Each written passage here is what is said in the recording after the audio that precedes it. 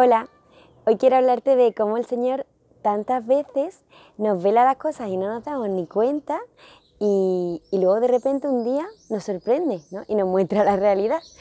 Y, bueno, es que te quería contar una historia súper bonita que le pasó a una hermana con sus votos perpetuos y es que, bueno, ella hizo sus votos temporales el día de la, de la Anunciación y, bueno, y, también quería hacer los votos perpetuos ese mismo día, ¿no? El día de la Anunciación también. Como que ya pues siempre lo tenía ahí presente y pues pensaba que era el día que el Señor quería. El caso que eh, entonces unas hermanas eh, un día vieron una estampita de la Anunciación y se la regalaron. Entonces nada, ya tenía ahí su estampita y, y nada, ya está, ahí la tenía, ¿no? Vale, se fue acercando el tiempo de sus votos perpetuos y pensaba hacerlos el día de la Anunciación. Pero ahora resulta que a última hora, eh, pues no pudo ser, ¿no? El Señor no lo quiso y le cambiaron el día.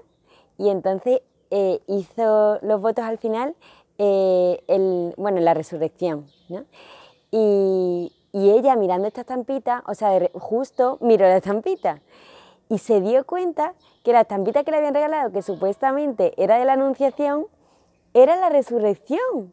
O sea, era Jesucristo resucitado. Y las mujeres, y las mujeres.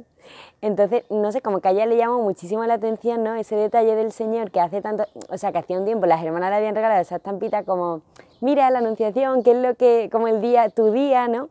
Y el Señor realmente le estaba velando que no, que no era la anunciación, que era el día de la resurrección, ¿no? Y, y nada, fue muy bonito como el Señor eh, unió el día de su entrega, pues eso, esos dos misterios, ¿no? el de la encarnación y el de su resurrección, y como ella pudo vivirlo también pues como un regalo de Dios, que ya se lo tenía preparado desde hace muchísimo tiempo y que ella pues no se había dado cuenta, ¿no? Entonces, pues nada, quiero hoy animarte a que, nada, que te fijes o a que simplemente te dejes sorprender por el Señor, que muchas veces eso, pues nos ve la cosa, no, no nos damos cuenta de, de regalitos que Él nos va haciendo, que cositas que Él nos tiene ahí puestas, ¿no?